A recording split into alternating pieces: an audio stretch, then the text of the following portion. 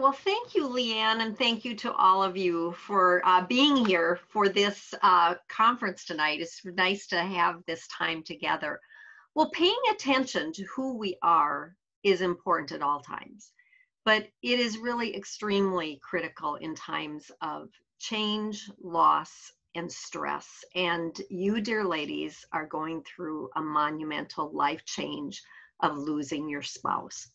Now, I want to ask you kind of a different question, but I just want you to think about this. If I were going to ask you right now, if you were a kitchen utensil, what kitchen utensil would you be? And think about that. Maybe write it down. Maybe even talk to somebody about it at some point. And now I want you to think about if you were going if i was going to ask you to think about what kitchen utensil you were prior to your husband's death your life change the stress that you have been through what utensil would you be and why now let me explain this a bit i have not experienced what you are experiencing my husband is still living. We've been married 43 years, but three years ago, my husband was diagnosed with head and neck cancer. He it's a risk for smokers, heavy alcohol use. He's neither of those, but he has head and neck cancer. And he has had five major surgeries, a tracheotomy at one point, two rounds of chemo. He's had the maximum amount of radiation, and he has trouble swallowing with his taste buds and overall strength. And he continues a three week regimen of immunotherapy to hold this very aggressive form of cancer at bay. Before this diagnosis, I would have said I was a wire whisk. I was stirring everything up and rushing around, doing and taking care of lots of things. It was Rob's business, my business, church, family, travel, fun, just whisking together everything in my life, making sure that nothing stuck too long to any container. Now, today I would say I am a rubber spatula.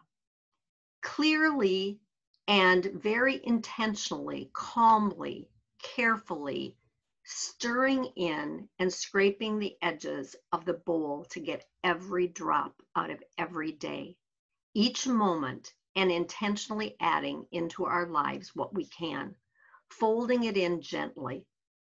My circumstances have changed. My purpose has had to change, and my utensil has changed. Over the years, the various roles that I have had and the responsibilities that have been part of my various roles has led to a tremendous interest and, frankly, a very real need for me to be consciously aware of who I am and how I show up. I personally have experienced sudden loss or big changes to what my expectations were for life. And in my coaching business, I work with people who have had a sudden job loss or a personal change. And as I am sure many of you could attest to, that kind of thing throws us all a little off kilter. We have trouble focusing on who we are, and we may be at a loss to identify what we have to offer an employer, what we have to offer our families, and actually, what do we even have to offer ourselves? We may lack that sense of purpose and direction. It is in times of these, in these situations, that I have found the need for doing a very deep dive into self awareness can be extremely helpful. That is what I want to talk to you about tonight. And so, to illustrate this, let me share a story with you. And it's a Bible story from 2 Kings 4 1 through 7. Now, some of you maybe will recall this Bible story from your Sunday school, or maybe it's the first time you've ever heard this story. But I want you to listen to it carefully with a little paraphrasing on my part. There is a woman, a widow, who is in desperate need of help. She is in a place of great sadness. Her husband, a man of God, known to Elisha, the prophet of God, has died. And she is grieving and then not only that, But now creditors have showed up at her door and they are telling her if she does not get caught up on all of her past due bills, that they are going to take her two sons and they are going to take her sons and make them indentured servants. This means at least seven years of service. She has lost her husband. She is facing the very real reality of losing her boys. She has gone through everything in the house and has taken everything she can think of to the open market, to the village to sell. Her furniture, pottery jars, clothes the boys have outgrown, her husband's possessions that he had. She has probably laid awake at night and thought of who could she ask for help. And she has run down the list of those people, and for some reason or another, she has dismissed them that she can't go to them and ask for any help. But then all of a sudden, she remembers Elisha. And she probably sat straight up in bed and said to herself, Yes, that is it. Finally, I have a step I can take. Finally, I have a plan that I can move forward on. I will go to Elisha. He will remember my husband. So she goes to Elisha and she explains who she is and she explains her dire situation. And the Bible says Elisha, after hearing all of this, he replies to her and he says, How can I help you? Tell me, what do you have in your house? Well, it doesn't take her long to answer him because she's just gone through her whole house and she's gotten rid of stuff, sold stuff, everything she can think of. And so she replies, Your servant has nothing at all. I imagine there was a pause. And I imagine that Elisha was waiting and he was thinking to himself, Really? Nothing at all? And finally, after a little bit of thought, she says, Except a small jar of olive oil. Then, upon hearing this, Elisha says, Go around and ask all your neighbors for empty jars. Don't ask for just a few. Then go inside with your sons and shut the door behind you. Pour oil into all the jars, and as each is filled, set it to the side. She left him, her sons brought the jars to her, and she kept pouring. And when all the jars were full, she said to her son, Bring me another jar. And he replied, There is not a jar left. And then the oil stopped flowing. She went and told the man of God, and he said, Go sell the oil and pay your debts, and you and your sons can live on what is left. Isn't it interesting that so often when someone asks us what we have, our first response is nothing, or I can't, I don't have the time, or I don't have the money, or the right attitude, or the right experiences, or the education I need, or the energy, or the connections that are necessary. But do you? Do you actually know what you have? Just like the woman in Second Kings, for our own lives today, as we reflect on that same question that Elisha asked the widow, I want you to think about that. What do you have? To become self aware of who you are and what you have and where you are at, we're going to take an inventory of your life. I really want you to think about viewing your life, seeing it, identifying different things in your life, what is actually in there. And I would strongly encourage you to get a journal and write it down.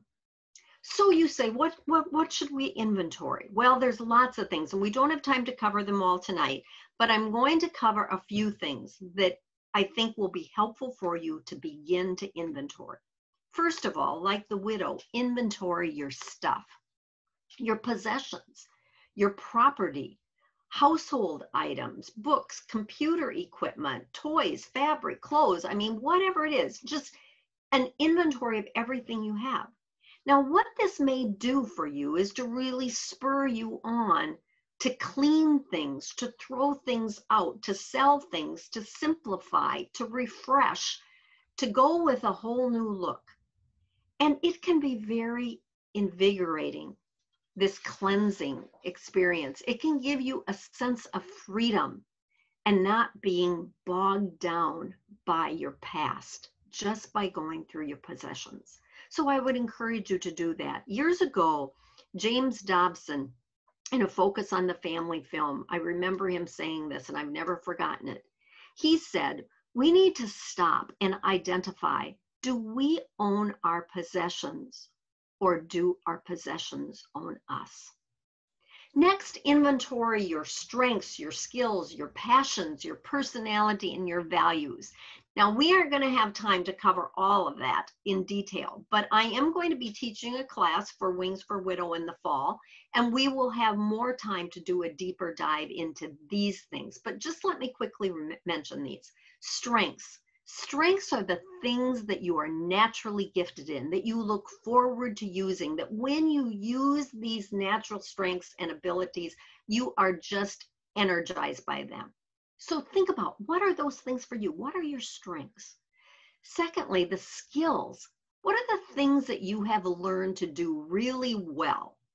But it sometimes is difficult for you. You don't look forward to it. It makes you tired. You would rather not do it, but you've had to learn how to do it. Now, for me, that's things that have to do with numbers. So I'm not a finance guy, and I really would prefer not to do budgets and not to do invoicing and not to set pricing. But I've had to learn how to do all these things in my for my business. And can I do them? Yes, I can do them well but it really is quite exhausting for me and I would prefer not to do them. But I did just get my taxes done for the quarterly Minnesota sales tax uh, last night. So that would be skills. Inventory your passions. What are you really enthusiastic about? The things that really matter to you. That, that when you're doing them, time just flies and you feel like this is something that is one of the most worthwhile ways that you can spend your time. What would that be? Something that makes you feel that it makes a really, just a difference to someone or to an organization or to um, a, a company. So, a passion. Values. What compels you to take a stand? Now, when I work with clients, I have a value card sort, and they have multiple, multiple cards that they have to go through and they have to get down to eight values that are important to them that they would use those eight values to make a decision. Now, I know you don't have that value card, card sort, but there are two things that you can easily do to get an idea of what you value. And the first one is your time. Look at your calendar. How do you spend your time? What do you carve out time for? That will tell you what is important to you, what you value. The second thing that you can do is look at how you spend your money.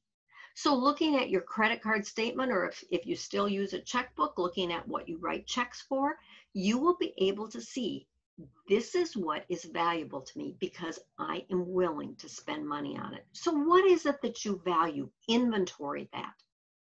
Next, inventory your jobs and your experiences. Write down every single job you have ever had and briefly what you did. And then, with each one of those jobs, think about what did you like? What did you not like? And maybe one or two things that you learned from that job. I've done this. This is so interesting. I, my first job was when I was in fourth grade. My sister and I cleaned houses. Now I know child labor laws and all that, but we cleaned houses starting when I was in fourth grade and she was in fifth grade. Start to write these down. And when you see all of these jobs laid out collectively, you will start probably to see a theme, a pattern to them that will become a common denominator that will give you indications of what you truly love to do and maybe what is not something that you would prefer to do. But it gives you that perspective. Inventory your education, your classes, your certifications. Yes, that's a very important part of what you have accomplished. And there may be a correlation to the direction that you have taken in your life or in your career, but there may not be. You may see a, a, very different path that you have taken from your education as well. It doesn't matter for some people that is that would be a PhD. For other people, it's a community ed class on cake decorating. Whatever those education, certifications, classes, it is very important to inventory them so that you can start to see those things that you have really accomplished in your life. And it may help you find direction for a career or even a hobby. Next, inventory your emotions.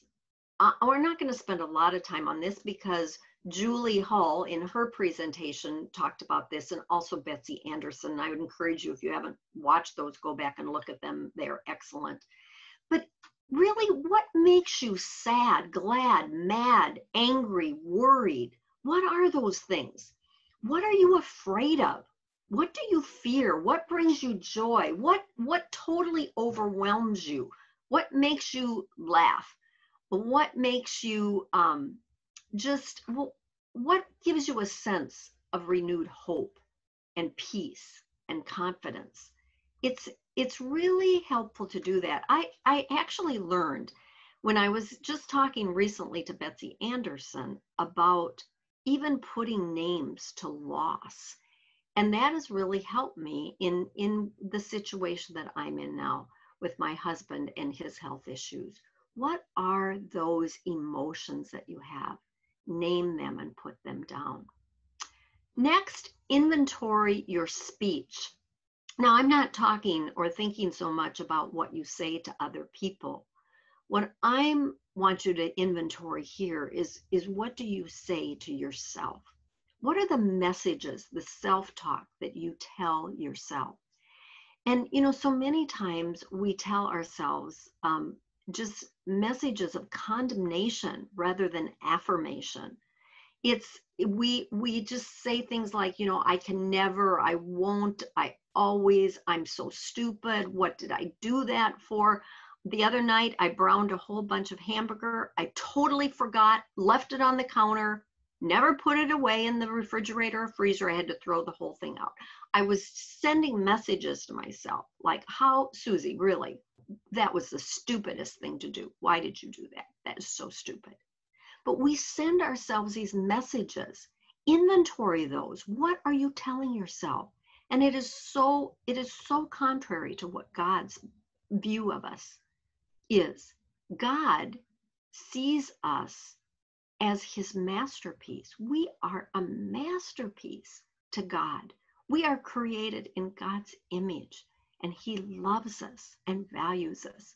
We need to have that same appreciation and realize that God loves us. He created us. We are His masterpiece and have affirmation. Now, you can get affirmations from quotes, from different things. I would, there are so many affirmations in scripture that I would highly recommend. And maybe, and I've got a, a list of affirmations from the Bible, and I'm going to try to send that as a resource to Leanne so maybe she can post it.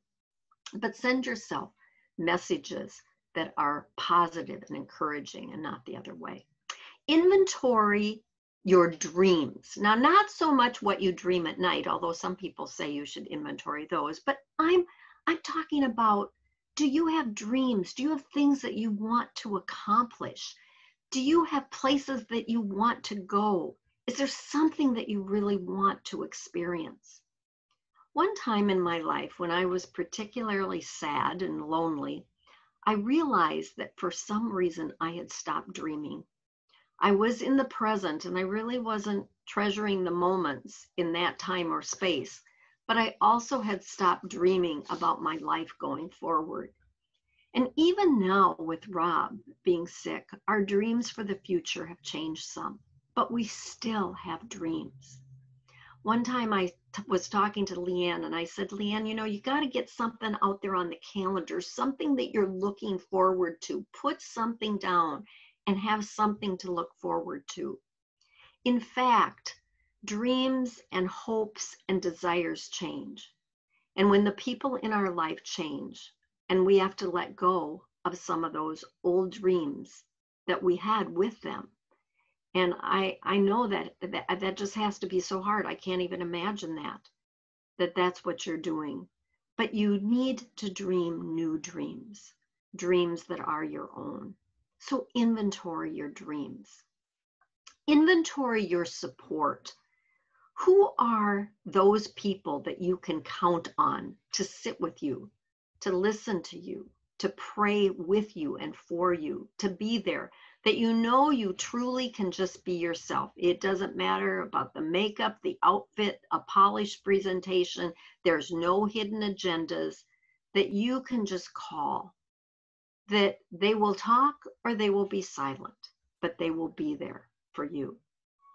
Keep who those people are. You're going to need them. And I'm sure you've found that out already. And maybe you will identify by doing this well that there are some people that you should not call, or at least you're better off not having in their life in your life as much or as often. That maybe you need to take a break from some people um, and inventory that so that you can have those people to call. So those are just a few things to inventory. There's lots of things. So write it all down this full inventory then becomes a full perspective. It's the lens through which you look to recognize who you are and that equips you really to navigate and cope and confront the change, the situation, and this loss that, that we are in. Now, this knowledge is powerful because what it does it serves to prepare and equip you to respond to change rather than to react to change as you are readying yourself for this next chapter of life. Viktor Frankl, in Man's Search for Meaning, in his book, said this Somewhere between stimulus and response, there is a space.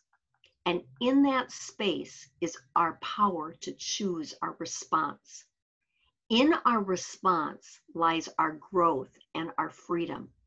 Critically doing an honest, intentional inventory in that space will give you the self awareness, the data, the knowledge that will give you power to choose your response. It will move you from a mindset of scarcity. I don't have anything at all to a mindset of abundance.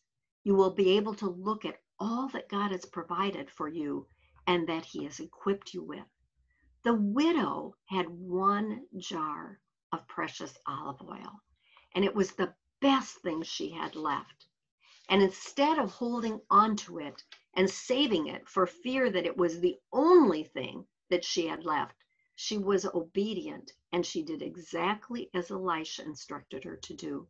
She poured it out, and the oil just kept flowing and flowing, jar after jar after jar, because that is the way God is. God is a God of abundance, not of scarcity. He is faithful to provide all that we need and more. There's an old chorus that, as a little girl growing up in, on an Iowa farm, spoke to me as to the, the resources of God. And it helped me picture this amazing and abundant God. And the words go like this He owns the cattle on a thousand hills, the wealth in every mine. He owns the rivers and the rocks and the rills and the sun and the stars that shine. Wonderful riches, more than tongue can tell. He is my Father, so they're mine as well. He owns the cattle on a thousand hills, I know that He will care for me. This helps me put into perspective who I am, who you are. You are a child of God. God is your father. One time, when Princess Diana of Wales, British royalty, was in the news, of course, several years ago, my then 85 year old aunt said to my sister Sally, Sally, Can you imagine what it would be like to be royalty? And Sally said, Well, yes, I can, because we are royalty. We are the daughters of the King of Kings.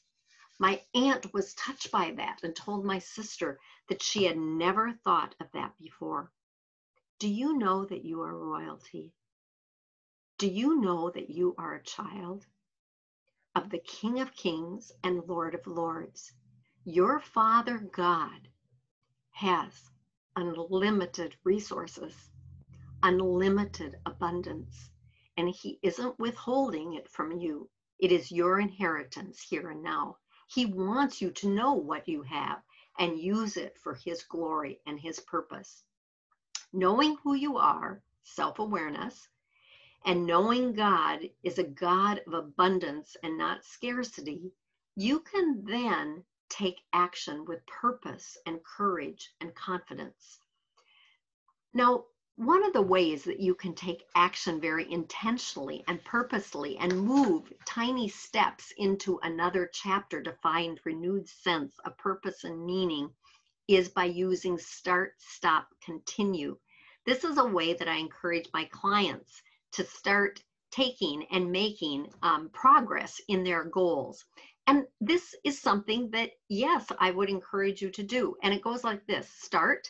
I am going to start fill in the blank. I'm going to start asking for help. I'm going to start doing these inventories. I'm going to start breathing deeply. I'm going to start stretching. When Rob got sick, one of my starts was to begin each morning with prayer. And this came to me when I read Psalm 5 3. It has kind of become my theme verse for the last three years, this chapter of life that I'm in.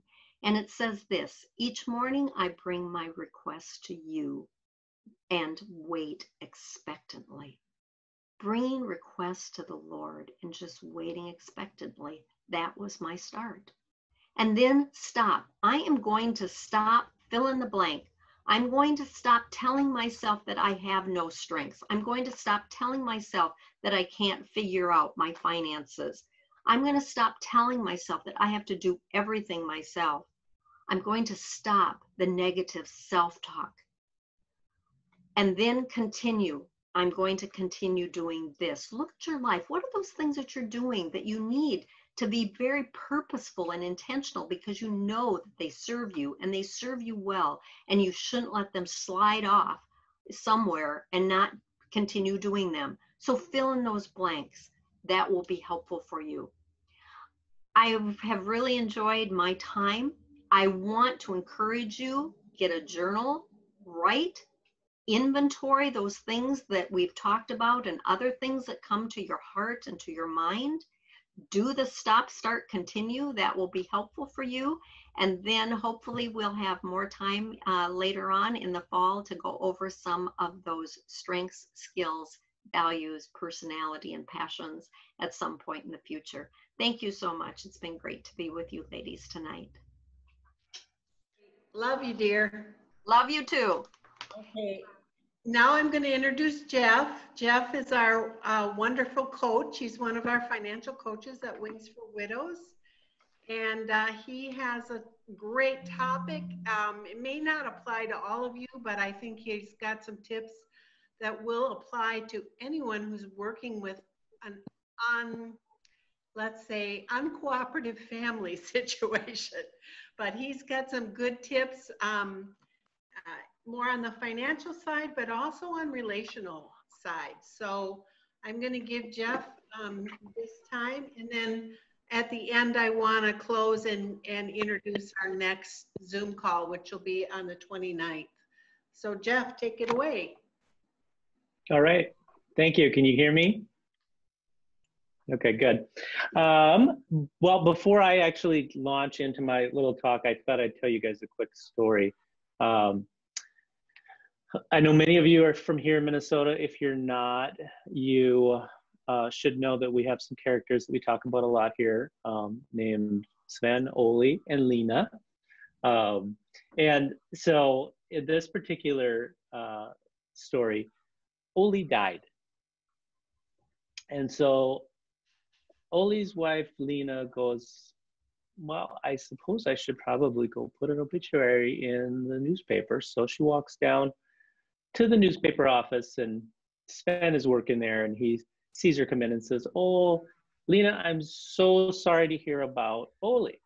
And he goes, she goes, "Yeah, yeah. Uh, I figured I should come down and and put the old and and Sven says, "Yeah, that's probably a good idea." So he puts the the form for submitting something into the paper in front of her and and she looks at it and she writes down Ole died and Lena uh, is sets it back in front of Sven and Sven looks at it thinks about it a second. He goes you know I think maybe you should uh, put a little more detail into that Lena. And she goes no that about sums it up. And uh,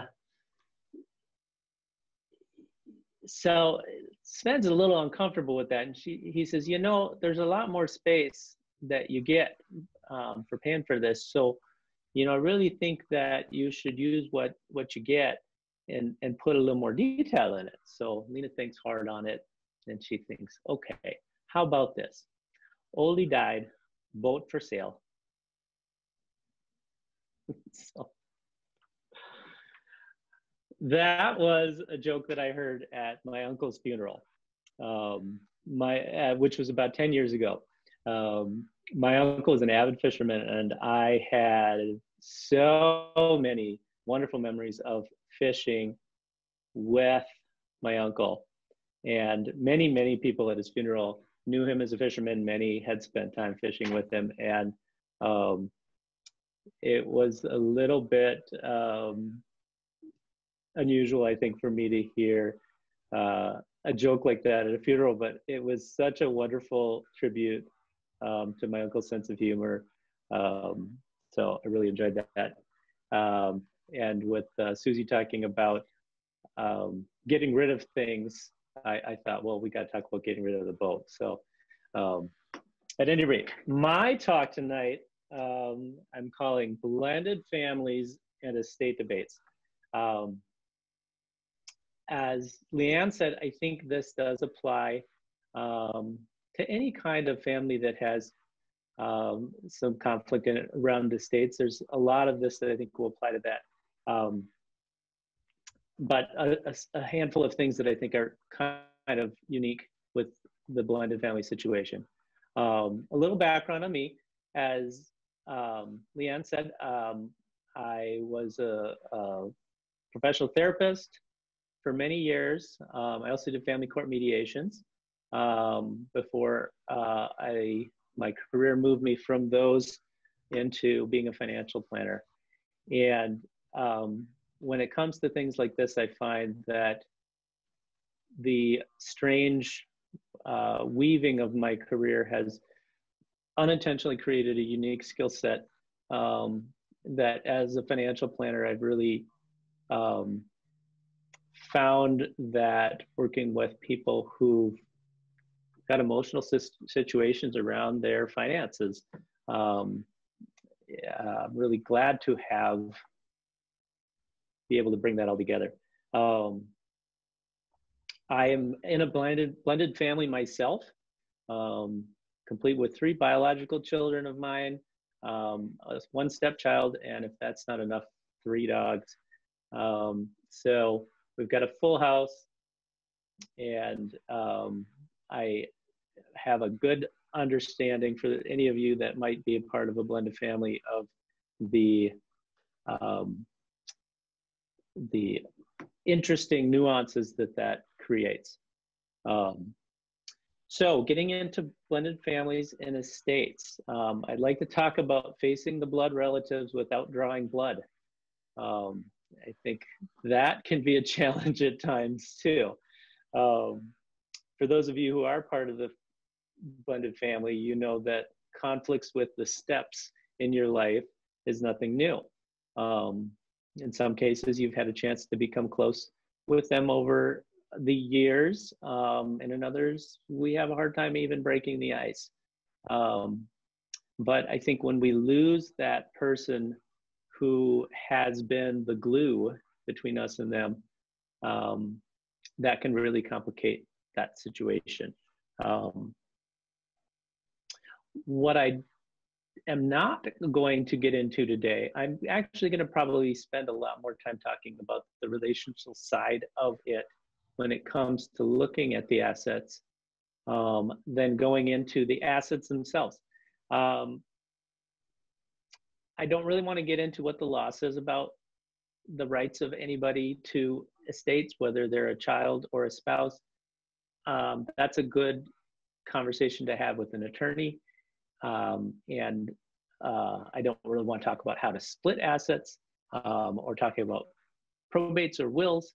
Um, rather, I want to encourage people to think about um, the, the people that are involved in this as it starts to get into a, a stuff conversation um, or a money conversation are still people that shared a love for the person that you all recently lost. Um, and I think that's an important factor that can get lost in talking about money or stuff. Um, and just want to encourage people to help try and preserve a relationship that you might have with people who um, may not have been in a relationship with you for another reason that the the person who just passed away is the connector. So um, there's still a, a, lot of reasons to maintain those relationships. They may look different, um, but um, I think it's important to keep going. Um, estate plans.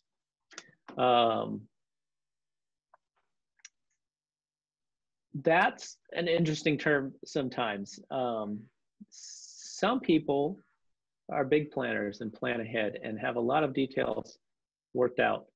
Um, some people don't seem to realize that they might pass away at some point and um, need to have something worked out.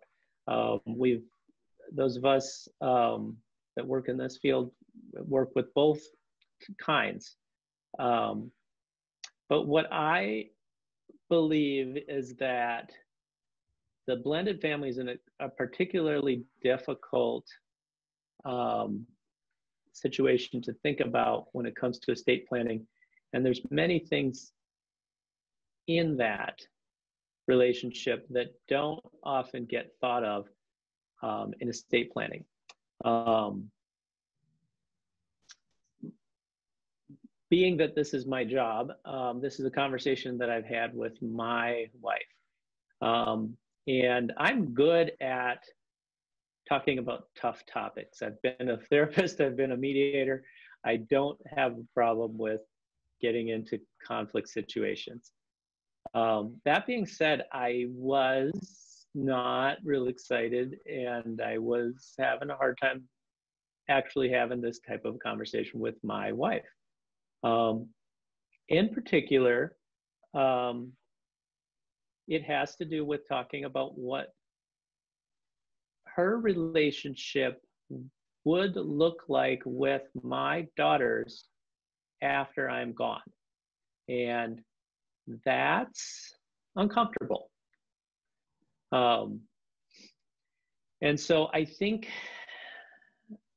many people avoid that conversation because it's so uncomfortable.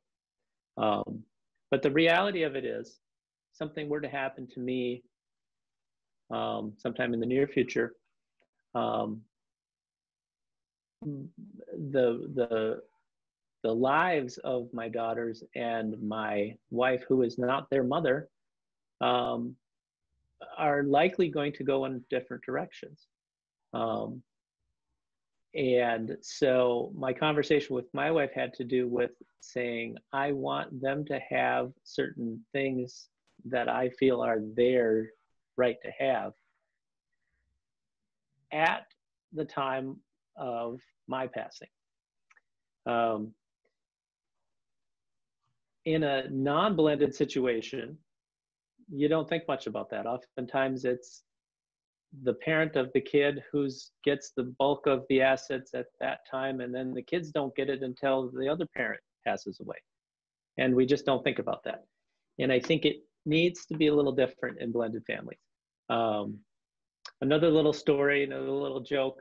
Um, a couple's uh, going through their planning of their will, and as they're working together, they're talking about what to do with this and what to do with that. He looks at his wife and says, You know, if something were to happen to me, I want you to know that I want you to be happy in life. And if that means that you're going to remarry someday, um, I want you to know I'm okay with that. But the one thing that I would like is to make sure that your new husband doesn't get my golf clubs. And his wife says, Oh, you don't have to worry about that. He's not left handed. So, um, hopefully, we're not talking about those situations in our estate planning, but um, a reality of what my conversation with my wife was is if someday you plan on later involving my kids in some estate plans, um, that could change when your relationship status changes in the future. And she got to a point where she said, okay, I get it. I understand that. And um, so then it was a, a situation of, yeah, okay, it makes sense for these things in this situation to happen in a different way than in a non blended family. Um, so, um, where does that leave us? Um, I think obviously in in the context of what we're talking about right now we're not talking about planning for a future event we're talking about things that oftentimes we're sitting in a situation where uh, a spouse has passed away and we are facing and sitting across the table uh, with uh, the children that are not my children and um, there's some tension in the air. Um, so I have a few pieces of little advice um, when you find yourself in that situation, and maybe the estate plan, the beneficiary designations, um, whether they exist or not, um, or a will that may have not been detailed enough to um, address these complicated issues, um, needs to now be um, dealt with. Um, my first piece of advice is to get good legal advice um, before you start having conversations with the kids. Um, know from your what legally belongs to whom before people start claiming things. Um, and get a good understanding of the gray areas. Um, i think that's that's core. Um, oftentimes you know in mediation i found that people before they sat down with me to mediate their situation they had already spent hours fighting with each other over something um, that they didn't need to even fight over because when they came in we sat down, I'd say, but this is what the law says. And they'd go, oh. Um, so I think much of that can be avoided by simply just getting a good understanding of um, what's already been decided um, legally. Um, I think one of the, the next important things is recognizing things that have sentimental value. Um, and here's where we're taught we're maybe getting away from money, but that doesn't necessarily mean it doesn't also have monetary value. Um, this can range from jewelry to furniture to real estate. Um, and starting to put some thought into that sentimental value. Um, oftentimes, um, in a mediation situation, I found that people's motivation for why they wanted something was different. And if somebody's motivation was because it's got monetary value and somebody else had a had a interest in it because of a sentimental value, um, you're not coming to the table with the same interest and it can't be resolved without looking at it that way. So, um, one of the things that I think can often soften um, that uh, tension about these situations is offering those things that have special sentimental value to the kids um, with a gesture that says, I know how special this is to you and I want you to have it. Um, and maybe that means that in exchange, you're looking for something else. But um, being able to present it in such a way that you're acknowledging that I know how valuable this is. Um, it can, it, it, doesn't necessarily even have to be something that has financial value. Um, my aunt um, took some mason jars when my grandparents passed, were both passed away, and the there was a need to go through the house that they lived in for 50 years, um, and you know, part of it was going into a dumpster, part of it was going into uh, Goodwill bin, and uh, the rest of it we we're trying to figure out who wanted what. Um, but my aunt took mason jars and went through the house and was finding things that she knew would remind us all of our grandparents. And she put together these little jars for each of us grandkids with stuff that we all could just look at that jar and go, oh, yeah, these are things that we grew up around that house with. Um, and uh, it was just such a meaningful gesture um, that it just, uh, I think when I when I think about that in a situation where there's some tension between family members, I think things like that can really go a long way um, in helping people work out those differences. Um, spending some time reflecting, um, and in particular, I think finding somebody who is a third party who's not going to get anything. A, a good friend um, or a trusted person that knew your spouse well.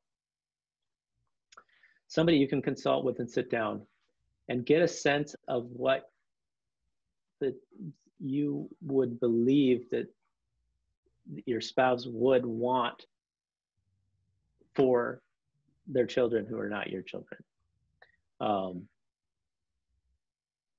and I think sometimes it's important that we we find that outside person, we find that person who's not um, motivated one way or another in the situation to help give us and and not the not the legal counsel or the financial advisor like me. Um, but somebody who knows the situation and knows the person and can say you know what? I really believe that this is probably what they would would want would want to have happen and i realize maybe you don't want to hear that. Um, but uh, i think that's an important distinction as well. Um, finally i think um, it's important to recognize that and, and i found this in mediation process is that um, it's very easy when it comes to things that people are are fighting over um, to create um, a process that becomes stressful, expensive, um, long drawn out, and in the end is not worth what you got. Um, as a mediator, I always found that if we could get people to start with um, a sense of what am I willing to give in order to get something else, but starting with the give.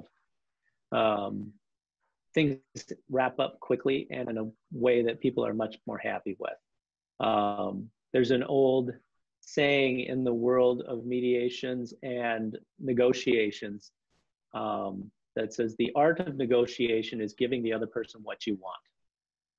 And it doesn't mean you're giving them the thing you want. It means that you're giving them the uh, arrangement that you want. that the arrangement that you want is being presented in a way that's attractive to the other person. Um, and I think that's an important distinction here too.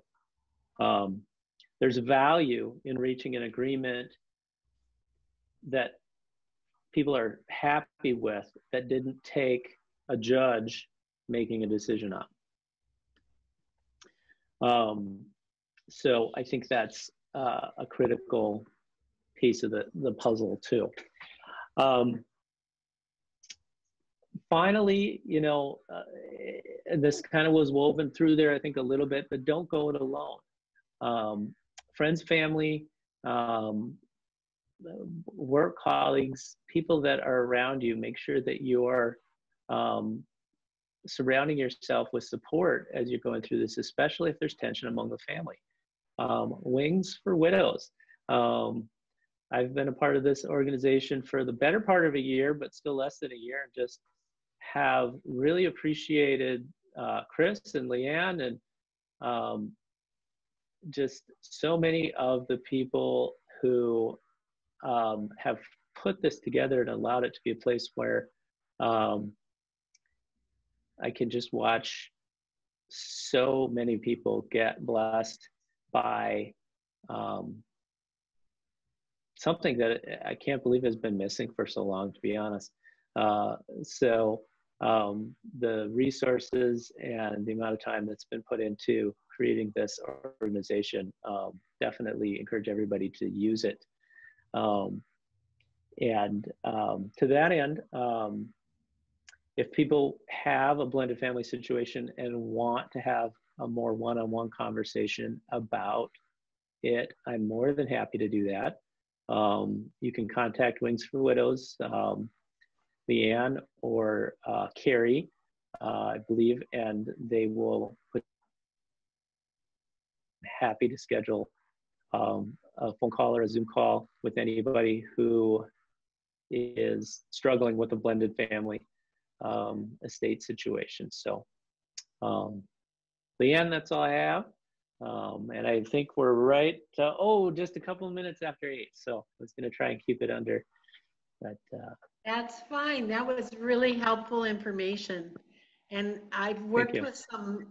I've worked with some, as you know, we've worked with several uh, widows who are struggling with that very situation and with yeah just uncomfortable family situations and it, it in a way it's so tragic that sometimes the spouse's family right at the time when you need the support of of your whole family your in-laws as well as your own family.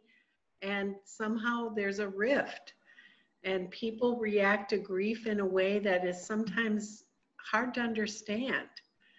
They're uncomfortable being around you because you've experienced that loss and they don't quite know what to say.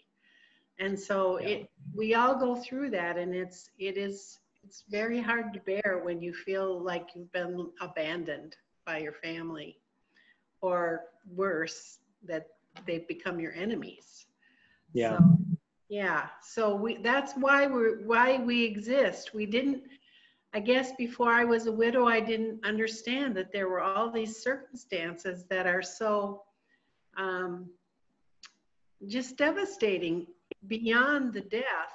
There are all these implications that unfold and, and that we all are going through those things. So I just want to kind of again say we're here to help you to walk through with expertise and understanding and if you or anyone you know is in that circumstance, we, we're really here to help you and it doesn't cost anything.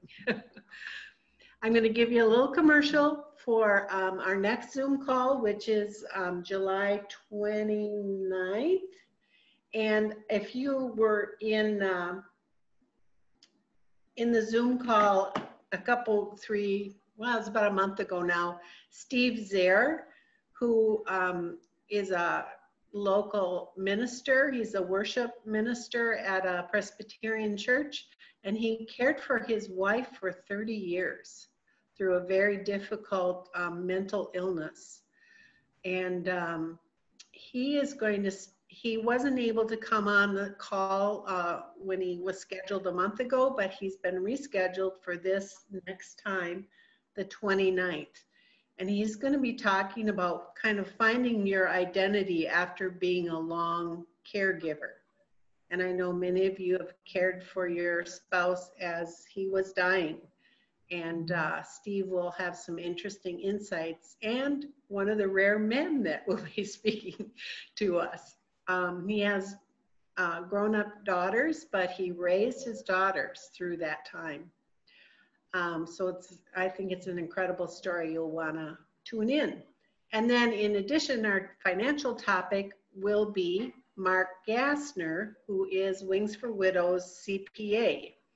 So he's a, a tax guy, and he's going to talk up about some of the laws that affect widows specifically um, in regards to your taxes. So I think it's going to be a really pertinent topic. Thank Should you. have had that today with filing tax day today. So. Yeah, well, that's why he couldn't talk today because he's busy. yes. So thank you very much, Jeff and Susie. You just did a great job. I know everyone learned a lot. And uh, this um, call will be recorded. It has been recorded and uh, Chris will edit it and then put it on our YouTube channel. So in a few days, you should be able to tune in and listen to it again.